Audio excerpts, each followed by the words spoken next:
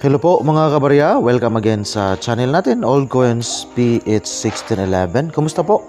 Magandang araw po sa lahat na manonood ngayon sa video po natin. At ngayong araw na to, yung pag-usapan natin 5 peso po, nonagonal po, 2020. So ito po yung pag-usapan po natin.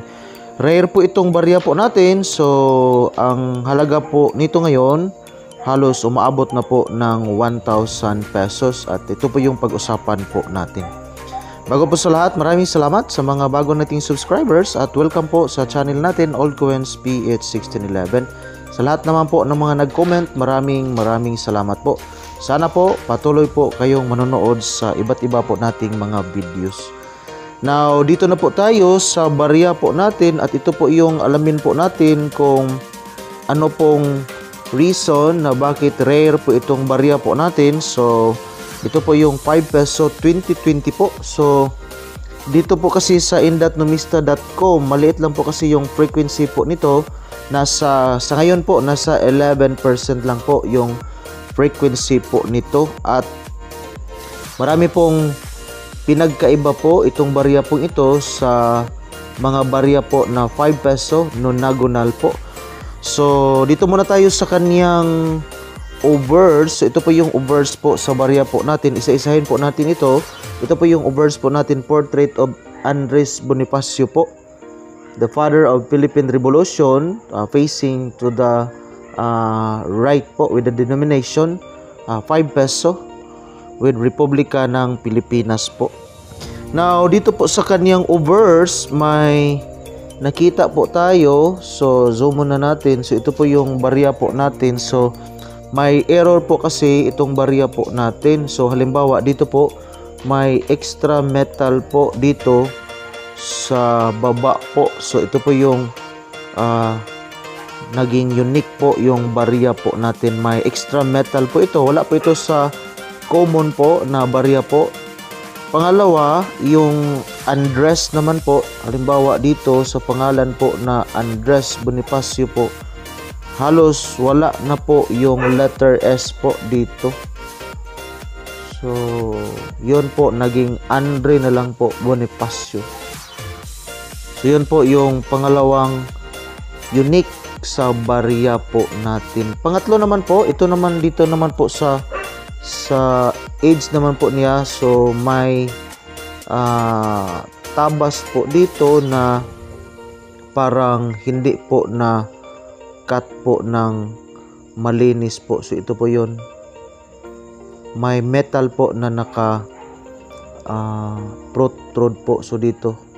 Dalawa po ito, ito po 'yon. So tsaka ito po 'yon dito naman po. So semi hard to find na po itong 2020 po. So ito po yung uh, barya po natin na 5 peso. Rare po ito at saka semi hard to find po. So dito naman sa kaniyang reverse, so wala naman po tayong nakita po na unique po sa barya po ito.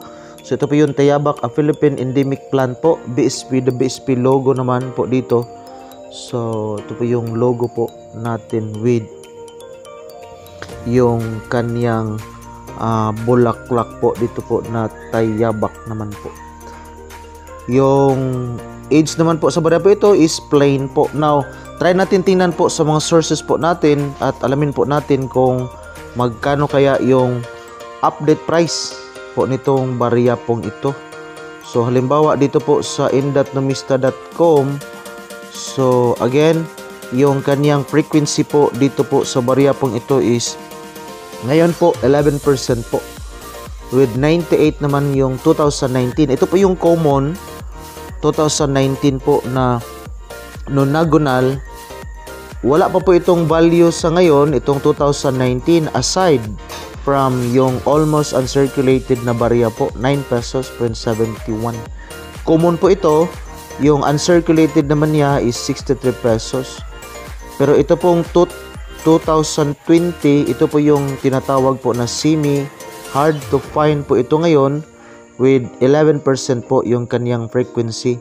Dito naman sa indatnomista.com, wala pong price appraisal or value appraisal po dito si indatnomista.com.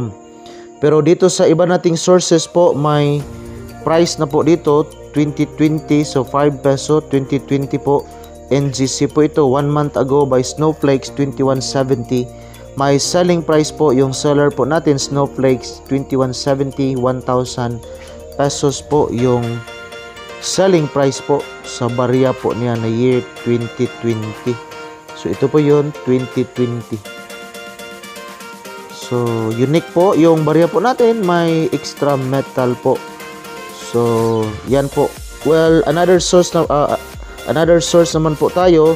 Although uh, sa carousel PH pa rin po. So ito yung barya po niya. So may mataas po itong selling price. Halimbawa po dito balik muna tayo sa dito sa seller po natin. So ito po yung seller po natin a collect, uh, collectible 13 may presyo po sa dito na 1,700 po. Rare 5 peso na nagunal year 2020 So, di lang klaro dito bakit naging rare. So, try natin i-click po dito yung barya po niya.